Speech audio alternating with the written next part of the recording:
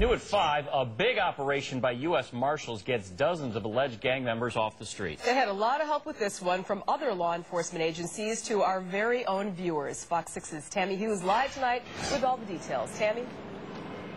Yeah, 35 alleged violent gang members or their associates are now behind bars and jails like here at the Milwaukee County Jail. And the U.S. Marshals hope this sends a clear message to the bad guys that you can run, but you cannot hide. I have a Latin King member, a Mexican Posse member, and a member of the Black Gangster Disciples. U.S. Marshal Kevin Carr has a strong message for violent gang members. If you are wanted for violent crimes, the U.S. Marshals Fugitive Task Force will find you. From Kenosha to Racine, Milwaukee, Sheboygan, and up to Green Bay, his office arrested 35 alleged gang members and their associates over the last two weeks.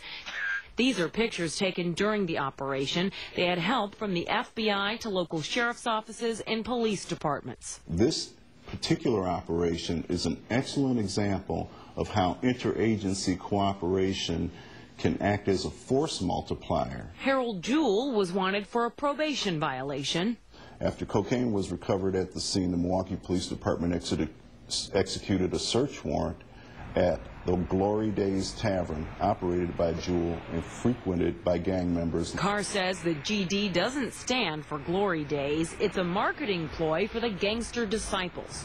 And this is what happened when a fugitive tried to hide in an attic during a raid. He fell through the ceiling. But don't worry, he was caught by a Milwaukee County Sheriff's deputy.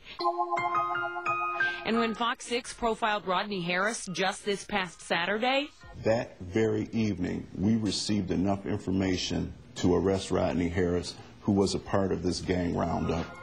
And um, you can't be more effective than that. It was a community wide effort, which is why Carr says the bad guys everywhere are outnumbered. If you're wanted, we'll find you and we'll bring you to justice.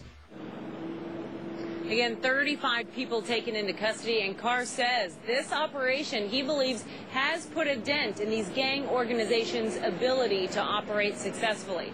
They want to remind everyone that capturing fugitives will continue to be the focus of the U.S. Marshals. Reporting live outside the county jail, I'm Tammy Hughes, Fox 6 News. Tammy, well, this is great news. Are there more arrests expected, or is this it for now? There certainly are more. In fact, someone that uh, we profiled on Fox 6 about two weeks ago, uh, they have not received any calls on him. So we'll continue to help out the U.S. Marshals and run their profiles, and they'll continue, hopefully, to get those tips from the community. All right, Tammy, thank you. Entering the 2010 Packers season, running back Ryan